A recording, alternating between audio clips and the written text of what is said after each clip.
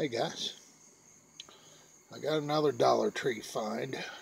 Um, found some pretty neat stuff in another Dollar Tree.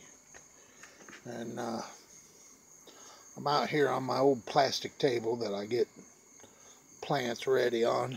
Yeah, it's an old plastic table, ain't worth a hoot. But I prepare my seedlings and things on this table and sometimes I fillet fish on it. It's just an old beater table out on my deck that uh, really needs a good scrubbing but haven't got around to it lately. So anyway, let's dig in this bag and see what we got. I had some pretty cool finds.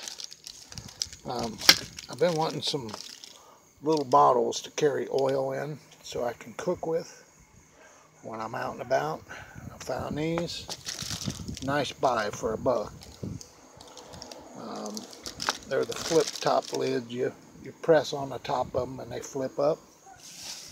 And uh, came across these two and I thought, well, some travel jars. And I thought, well, I could put salt, pepper, and maybe some garlic, powdered garlic in them. So, um, figured that was a good buy too for a buck. And then uh, I came across this. A nice sharpening stone. Um, it's got a, a medium grit on one side and a fine grit on the other. Pretty good bargain for a buck.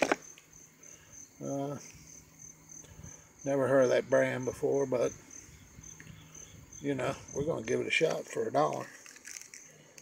Seemed pretty good to throw in a pack, you know, to sharpen knives with. And uh, also found this, my favorite cooking oil for a dollar. It's um, seven and a quarter fluid ounces of coconut oil. Pretty good deal for a dollar. And uh, the best thing I found in this store um, was paracord. Nylon paracord. Um, probably ain't the best quality stuff, but it's um, eighth inch by 25 foot. Cost me a buck. A buck for 25 foot of paracord. You can't beat that. And it's high visibility. Um, I just bought two rolls today. I'll probably go back and get some more later, but um, six dollars worth of stuff there, and uh, I think it was a pretty good deal. I'm gonna be throwing them in packs, and uh, hopefully I can find some more stuff. Anyway, your Dollar Tree deal for the day. Um,